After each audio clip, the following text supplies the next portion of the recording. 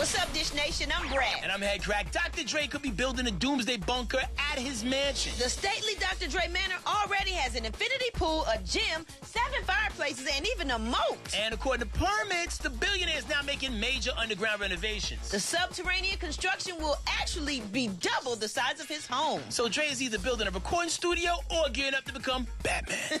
Catch Dish Nation every weeknight for more on all the stories we're dishing about.